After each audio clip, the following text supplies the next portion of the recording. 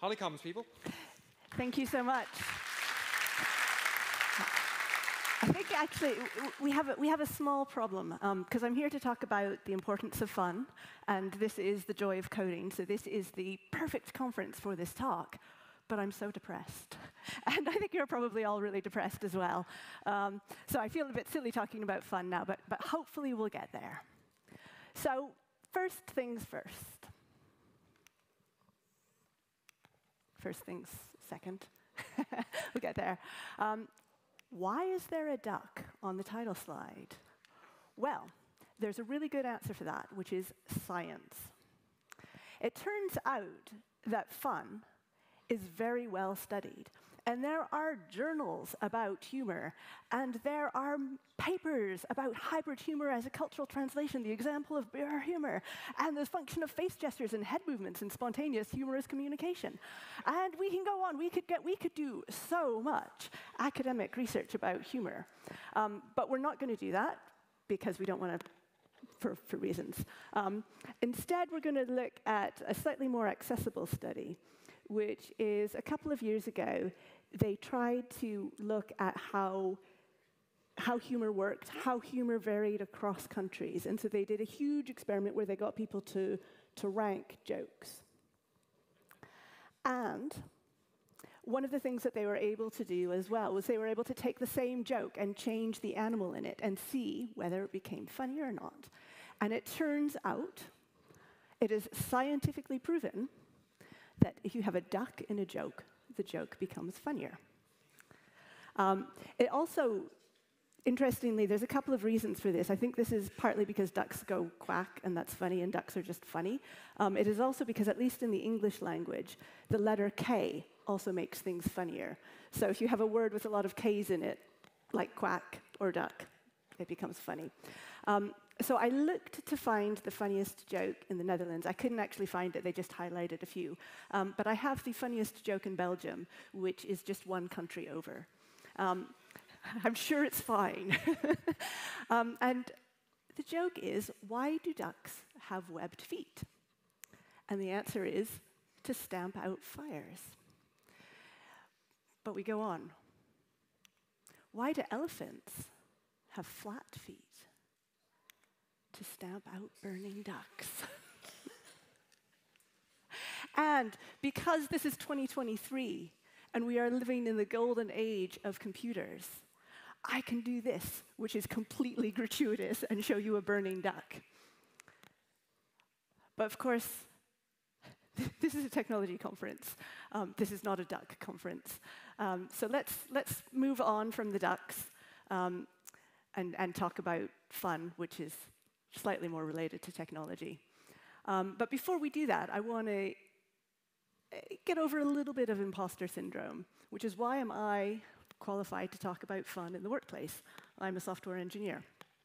Well, I'm Holly Cummins. Um, I work for Red Hat at the moment, but I worked for 20 years for IBM, and I did a number of things at IBM, but one of the things I did was I was a consultant. And I feel slightly embarrassed to say this after Mark's talk this morning, um, but I would like to make it clear I was not one of those consultants. That was a different organization. Um, we sort of looked across the wall at those, that organization and said, you're doing things for reasons, and I know what those reasons are, but I'm glad I'm not in that organization. I was in an organization called the Bluemix Garage. And we had a method. Um, it was based on extreme programming and lean. And one of the things in our method was the, a fun work environment. It was a formal part of our methodology. We were obliged to have fun at work. Um, so I no longer work in that organization. That organization actually no longer exists, which is sad. Um, but I work for Red Hat. I'm a software engineer. I help build Quarkus. And with Quarkus, what we say is people come to Quarkus, they, they move to Quarkus for the performance benefits and the cost savings that come with those performance benefits. But they stay for the developer experience because one of our foundations for Quarkus is developer joy. We want people to have fun using Quarkus, and we build it to try and ensure that people have fun. So that's kind of cool because it means part of my job is to make people have fun or design Quarkus so that people can have fun. I don't actually try and make people have fun with Quarkus by like standing over them and going, are you having fun yet? better have fun, otherwise there's going to be consequences. So, ducks. But let's talk about, instead of talking about ducks or me, um, let's talk about you and, and your career. Because I, when, I, when I give this talk, I always wonder whether anybody's actually going to admit to having gone to my talk. And of course, here we're at Joy of Coding, so actually I can extend that worry to is anybody even going to admit to having gone to Joy of Coding? Because it can be kind of an awkward conversation with your colleagues, and, and you, know, you, you say, yeah, boss, Joy of Coding was great. It was a very serious conference, and there was no pink octopuses, and I, you know, and I definitely didn't attend to talk about fun. Um, by the way, did you know that ducks are really quite funny? Like, it's just not a conversation that feels professional or appropriate. We want to show that, you know, we're at a conference and, oh, it was very serious and I, I learned a lot. And yeah, you know, definitely, definitely, you know, there was no entertainment at all. And this extends, you know, all the way through what we do. So if you look, for example, at how we present ourselves on LinkedIn, you see there specialty, having fun at work. This is not my LinkedIn profile. I am not brave enough to do that. I suspect none of you are brave enough to do that. Instead, I, you know, I say very serious things about, you know, how I'm professional and qualified. And, and we do this everywhere. So if, if, for example, we're writing a cover letter, there's a bunch of words that we want to put on that cover letter to make ourselves seem knowledgeable and enthusiastic and with drive. And we say, you know, I, was, I initiated this and I planned this. And nowhere on there, you know, on a cover letter, we would never say, I am fun loving. I am the life of the office. You know, it's just, it feels so wrong to do that. And even if maybe we secretly hope that we have fun at work, we keep it a secret. We don't, we don't talk about it. Fun is the sort of, you know, like maybe, oh, it's a side effect that, you know, we kind of hope happens, but we're definitely not going to mention it. And I was thinking about the reason for this, and I think there's actually really deep seated cultural reasons for this. Um, and if you, if you would like to go, you know, if you were sort of inspired by Bourdieu and you want to go, go deeper into it, um, I'd recommend reading Polanyi. And, and he talks about some of the sort of the, the cultural changes in Europe and, and the effects of them. And one of them was the switch to Protestantism. And so this is a picture of the Puritans in Britain. And one of their, their big things was you, it is morally wrong to have fun. You cannot have fun. And if you have fun, you will not go to heaven. And I think probably very few of us would actually say that. Um, probably particularly few of us at a conference called The Joy of Coding. But I think a lot of us still deep, deep, deep, somewhere we have this layer that still believes that fun, having fun makes us kind of a bad person. I should add as well that the, Puritans quite famously tried to cancel Christmas 400 years ago. And the reason they tried to cancel Christmas was because Christmas was too much fun. So, there we go. So, what, what is this fun thing that's, that's so terrible that makes us feel like we're bad people if we have it? I think it's actually, I've sort of, we talk about fun, we talk about joy, but I think we can find a few things that are sort of part of a broad, a broad spectrum of fun. One of them is exploration. So, sort of interacting with the world. Another one is a puzzle. So, exploration has no goal and no rules. A puzzle has a goal and rules. Again, play, play is quite unstructured. Play probably has rules, but it doesn't have a goal. But then we have games. Games, a bit like a puzzle, they have rules, they have a goal, but a game, interestingly, also has a few other things. One of them is other people, and then because you have other people, you have winners, hopefully you, and losers, hopefully the other people. And then we have work. We, we won't talk about that. So we can sort of, you know, we can put these on a, on a kind of a, a, spectrum in terms of the amount of structure that they have. So exploration is a focused investigation. And then you have play, which is flexible and it's for its own sake. And then you have a puzzle, which has a goal and rules. And then, like I said, you know, the games have rules and they also have a winner. And then sort of somewhere in there is, is work. And then kind of at the bottom, it doesn't really fit into that, into that hierarchy, but at the bottom we have, we have humor, we have jokes, we have laughter. Which, but with what, what sort of combines all of these things is what psychologists call positive affect. And positive affect is a fancy way of saying it feels good, people look happy when they're doing it. And I mentioned that, that joy and fun are sort of quite closely related. They're probably sort of synonyms. And so there's a whole sort of spectrum of things in here, like, you know, fun, happiness, joy, laughter, delight, silliness, jokes. And they're all things that are fun. So that's great, but I still haven't got to programming. Is programming fun? Yeah, programming is incredibly fun because we get to control stuff when we program. It, it really maps quite nicely to a lot of those other things. And this is something that we've known for a long time. Recently, Fred Brooks passed away, which is very sad, but the good thing about that was it really brought a lot of people um, to sort of look back at what he'd done. And I hadn't realized, I sort of knew about the Mythical Man month in terms, of, but I have, I have to say, I have it on my slides, I have not actually read it. um, but I hadn't realized until he died that one of the things he also talked in there about is the joy of the craft. And this is quite a long, a long section, but there's a few things that I want to pull out here. One is he talks, basically, you know, his point is programming is fun. And it's fun because making is fun. And it's also fun because being useful is fun. So if we, when we make something and people use it, that's so cool. And then, of course, puzzles are fun. Learning is fun. And basically, code is just, you know, code does stuff for us, except for when it doesn't work. And so that's, that's really cool. And we, if we go back to those sort of fun activities, we can see they map so nicely to what we do when we program. So exploration, that kind of investigation of something new, is basically exactly what we do when we do Hello World in a new language.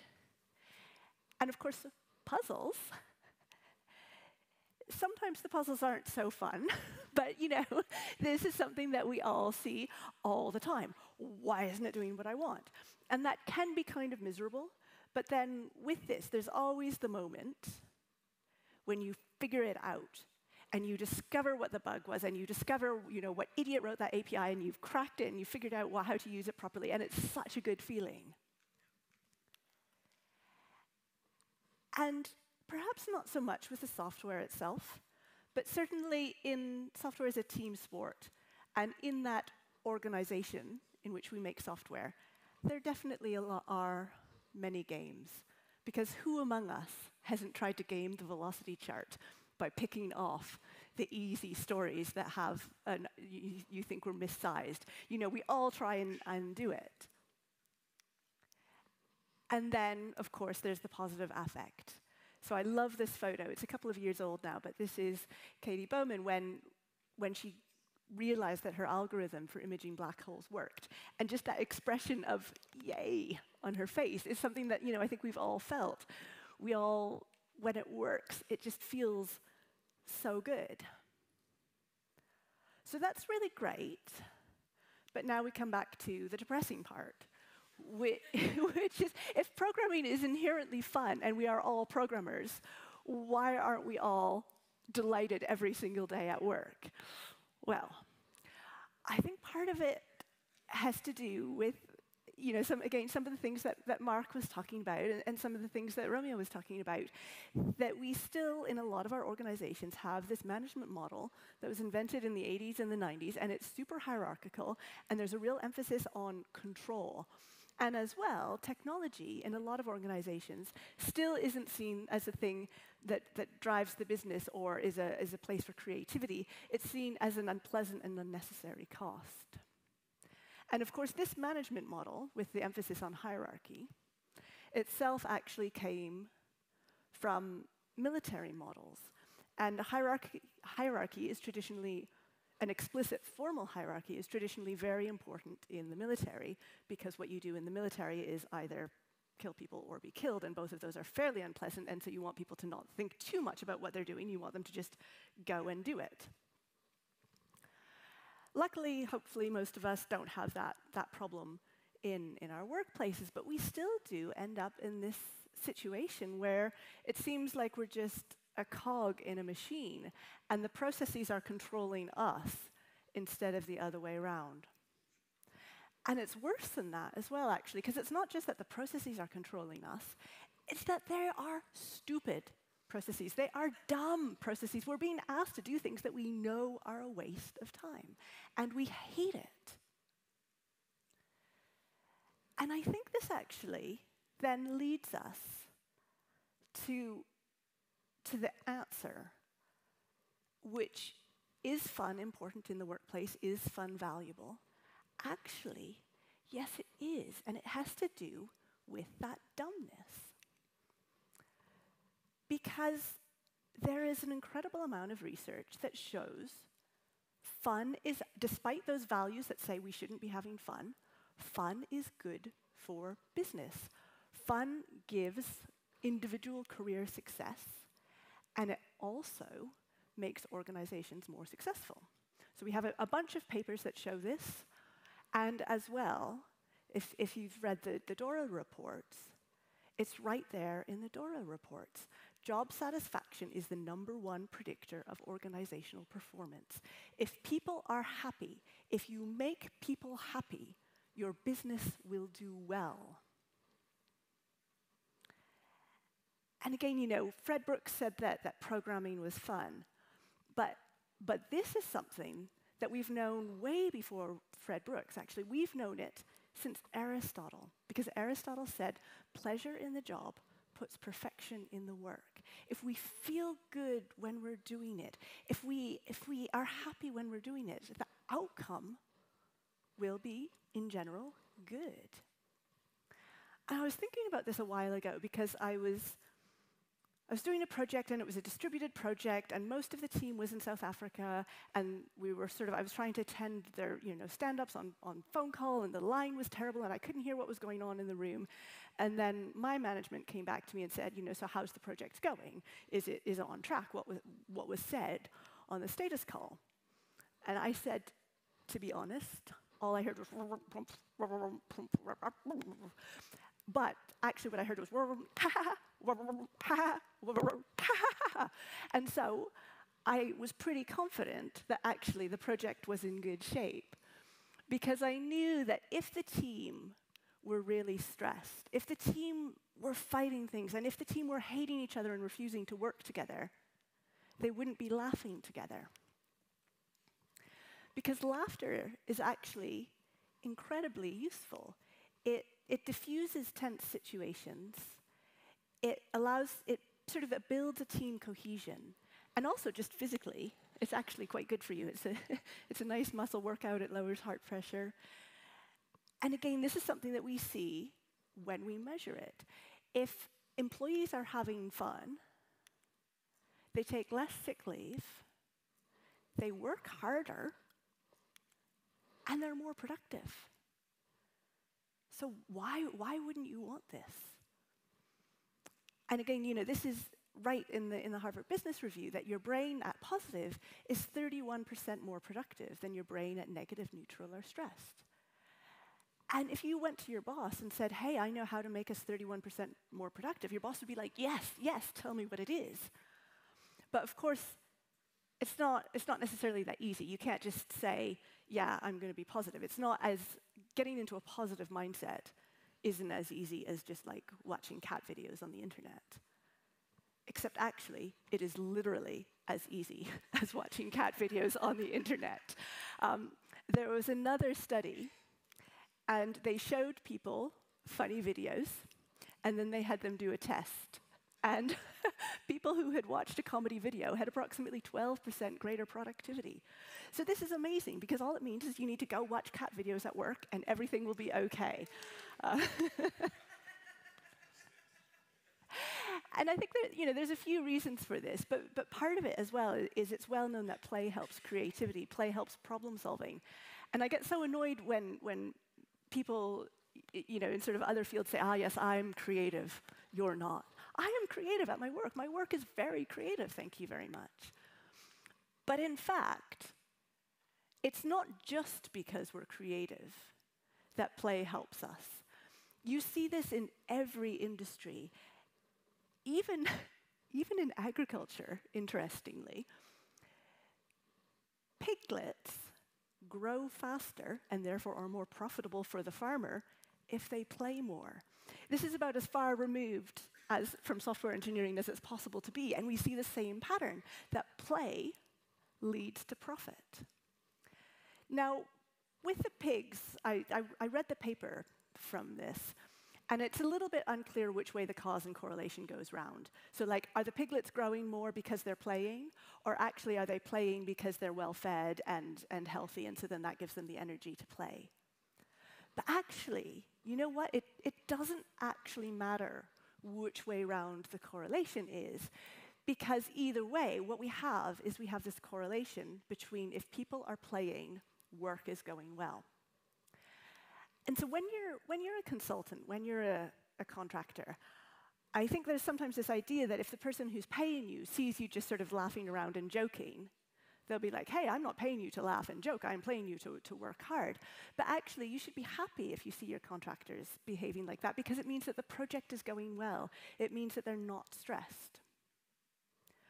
But of course, there is, there is a limit to that. Um, there is a limit to how much fun you can, you can expect to have. We can't watch cat videos all of the time. Um, many years ago, I was working on a project, and one of the consultants um, programmed all of our tests in Groovy, and he had an awesome time. But then, unfortunately, he left, and the rest of us had to maintain his Groovy tests when we had other deadlines. We had much less fun. So, you know, we can't watch cat videos all the time. And there, there are definitely limits.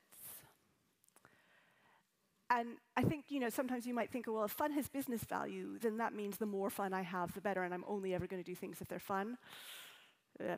It doesn't work like that. Of course, in, you know, into every life some rain must fall. There are things that are tedious, like washing the dishes, that we, we do have to do. So it's all about that balance. And as well, having said fun is good, that doesn't mean all fun is good. One of, one of the main motivators for trolls on the internet is that they're having a great time. That doesn't mean it's good we really need to sort of take that slightly wider step back and think, okay, is, is everyone having fun? Um, so, for example, you know, going back to questions of hierarchy, certainly at the beginning, Elon Musk was having a wonderful time at Twitter. he was making lots of jokes. Not everybody saw the funny side, so we really need to think about, you know, who we're including and, and who we're excluding. Um, so we do need to be responsible with our fun. But if we're convinced that we should be trying to achieve fun, how, how do we do that? So I used to, when I gave this talk, I used to sort of say that the first thing to do was to find the unfun things. But actually, then people would come up to me and tell me about their workplaces, and I realized that there was another step that we had to do first, which was to stop prohibiting fun, which seems obvious, but I heard a tragic story of someone they had a kitchen and people would bring in cakes and then they'd send an email around saying, hey, there's cakes in the kitchen. And HR sent an email saying, you must not send emails saying there's cake in the kitchen. I have no idea why. I, the only reason I can think of is that HR hated people, but it, it, it happened. I, I, heard another story. This was many years ago, you know, before we all had, had internet at home. And there was a, a team, and what they would do was a distributed team, and in order to bond with their colleagues, they would play Doom or Quake or something like that as sort of, you know, ex an extended LAN party after hours. It was after hours. But they were told if you're in the office after 5.30, you need to be doing work. It's not enough just to be like talking to your colleagues. And again, why, why? Why, why was this done? I have no idea. And I heard another very sad story from someone who they were typing away and they were smiling because the code was going well. And a project manager kind of, you know, came up behind them and said, why are you smiling? Work isn't a place to be happy. Um, this was in Switzerland. I have no idea whether that's correlated or not. So now that we've got that out of the way, we can work on finding the unfun things and getting rid of them. And this comes back to the fact that we hate it when dumb processes tell us what to do. If a process is unfun, that's such a good red flag that it's not adding value. So th these things are waste. And so if we can move to an, towards a workplace with more autonomy, people are happier and the outcomes are better. So there's a whole bunch of these things that we have in our workplace. So we have like meetings and you know process and sizing meetings and status re reporting and we can fix them because for every one of these bad things there is a good thing that we can do instead so we can have automation we can have self-generating status and they really help so for example pair programming you know it has its problems but it is a fabulous alternative to code review. If you have to do one of the two, choose pair programming every time because it's so collaborative, it's so nice. Instead of having status meetings, just have self-reporting status. It's so much better. And instead of doing really detailed sizings, unless you have a very good reason why you need them, just skip the estimation stage. Your outcomes will be the same, and you will have saved people time and anxiety. And then, of course, with TDD, I'm a huge advocate for TDD. And TDD is partly about the fact that you get better quality and that it's a useful design tool. But I think the biggest benefit of TDD is that it's basically gamified testing. that feeling when it goes green is amazing. And then automation as well. When we have processes, so far, computers don't expect to have fun. At the rate things are going, in two years, they'll probably be the vengeful robots, making us really, you know, regret that we used them for Terraform. But so far, we're OK. So let the computers do the annoying things. And I, I, love the fact that SRE as a discipline, the sort of the founding principle of SRE is let's stop doing boring stuff because it's annoying and instead let's automate it. And with DevOps, a founding principle of DevOps again is that we should be trying to make people happier, and that will give a better business result. And this it matters because, again, of, of how we learn. Going back to, to what Simone was talking about, when we learn, having that fast feedback makes us feel good, and it also makes the learning more effective. So once we've done all that, then we can get on to the fun. And this is important too. So it is so tempting when you're trying to solve a problem to just hammer away at it until it's solved. The best debugging tool is a good night's sleep. The second best debugging tool is a game of table tennis. Uh, combining a break with exercise is really effective. And so if we, if we take all these things, then actually we end up in a place where work, you know, we have a goal, so work does fit really nicely onto this fun spectrum. Now, sometimes we can take this perhaps a little bit too far, and we can say, I know how to do this. I'm going to move up from the work to the game, and I'm going to gamify everything. And I think gamification really appeals to management because it has rules and a goal, and so it fits well into some of those things. But gamification is actually incredibly effective. We are ridiculously simple creatures in some ways, and just giving a little nudge of gamification can make us completely change what we do. A great example of this is Stack Overflow. Stack Overflow completely changed how help was done on the internet, and the way they did it was by giving a point. And that simple point was enough to make people volunteer so much of their time. And, and I did a great boot camp a while ago where you had to hack the boot camp, and it, was really fun, and I put so much more effort into it than I would have otherwise. And again, I mentioned TDD is, is gamified testing. I saw an interesting talk about a company, and they had such a huge backlog of technical debt that was showing in SonarQube. And so they couldn't figure out how to, do, to fix it. So what they did was they did a little competition. And with that little competition, they got 7,000 new lines of test coverage, and they got 1,000 new tests, and they fixed so many issues. And what had been the incentive? The incentive was pizza. One pizza gave all that. Um, but of course, you do have to, with SonarQube in particular, you have to think quite carefully about what your metrics are. Otherwise, you drive the wrong behavior because you do get what you measure. And there's, there's a really interesting um, project where they've gamified people mapping moon craters to drive a learning algorithm. And they had to take out the gamification because it was driving people to do the wrong thing, even though they were only doing it out of the goodness of their heart to help science. The points would make them mismap to go quicker. And we see this now with Stack Overflow. With, with, with ChatGPT, people are trying to get their Stack Overflow points using ChatGPT, even though it's only a Stack Overflow point, it has no actual value. And of course, employees aren't stupid. They may notice that they're being gamed, so we do have to treat it with caution. Um, but I will say that we are so lucky that we can, we can play in our jobs and that is something that we should be doing, and it does come back to benefit employees. But, of course, we can get it wrong. If we try and be too deliberate about fun and we say we're going to have fun as one of our workplace policies, then you end up with team building activities, which everybody hates. You can't just sort of apply a formula to fun and say fun is valuable, so we are going to measure our fun. Fun isn't a formula.